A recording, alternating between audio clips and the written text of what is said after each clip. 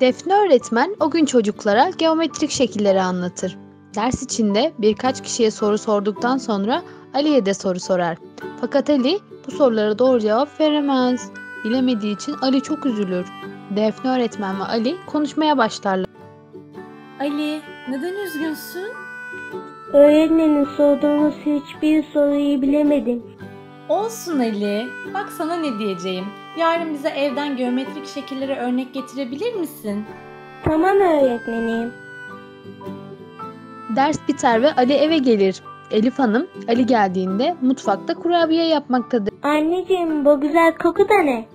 Hoş geldin oğlum. En sevdiğin kurabiyeyi yapıyorum. Teşekkür ederim anne. Anneciğim bugün öğretmenimiz bize şekilleri anlattı.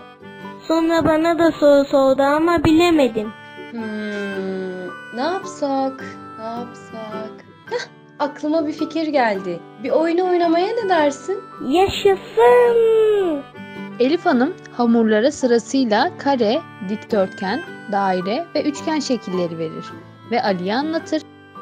Şimdi kurabiyelerden şekiller yapalım ve bunların hangi şekil olduğunu bulalım.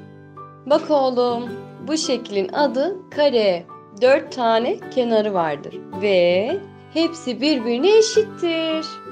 Hmm, bu şekil kare anneciğim. Bu şekil ise dikdörtgen.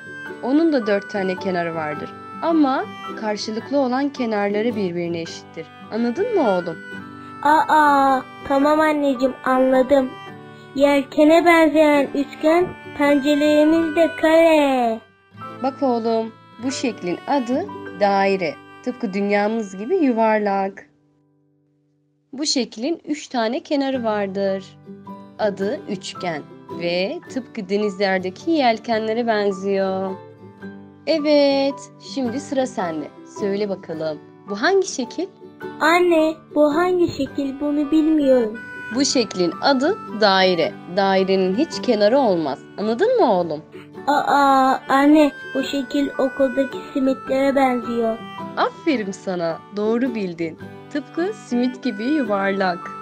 Simitlere benzeyen şekil daire. Aferin oğlum harikasın. Şimdi bütün şekilleri öğrendin. Teşekkür ederim anneciğim. Artık öğrendim. Anneciğim, yaptığımız kurabiyeleri okula götürebilir miyim? Tabii ki oğlum. Ama önce lezzetli kurabiyelerimizi pişirmemiz gerekiyor. Elif Hanım kurabiyeleri fırına atar ve hikaye biter.